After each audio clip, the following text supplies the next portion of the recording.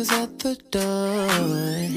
TT girl, I need to talk to you. Wait. Remember old boy that I went out with? Yeah. He took me to the movies. We got a little close rub on it. Couldn't feel it through his outfit. See, bitch, who you go again? What?